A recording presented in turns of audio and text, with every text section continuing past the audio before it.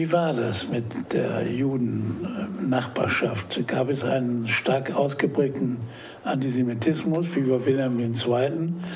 Also im, im, im, Alltag für die meisten wahrscheinlich nicht. Es gab Beschränkungen. Äh, zum Beispiel konnten äh, Juden im Militär keine Karriere machen. Das war in Preußen natürlich eine starke Einschränkung. Durften nicht Offizier werden? Durften nicht Offizier werden. Äh, es haben viele im, im, Ersten Weltkrieg gedient, aber nicht, nicht viele davon sind tatsächlich über, über den einfachen Gefreiten hinausgekommen. Sie haben sich viele, viele haben sich freiwillig gemeldet, weil sie das als ihre, ihre Bürgerpflicht ansahen. Sie fühlten sich als Deutsche, aber man hat sie, was die Karriere angeht, äh, extrem beschränkt. Es gab bestimmte Berufe, in denen äh, die Juden intellektuell tatsächlich äh, eine Chance hatten. Einer davon war die Rechtsanwälte.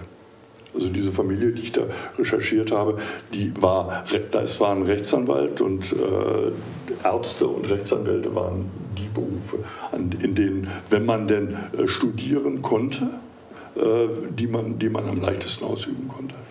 Ja, aber durfte man denn Staatsanwalt werden?